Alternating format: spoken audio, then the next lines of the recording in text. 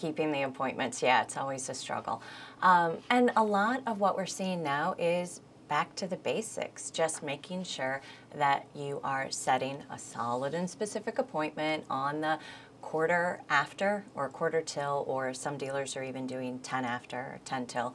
Um, confirming that appointment, and that means sending a confirmation email as well as a confirmation phone call.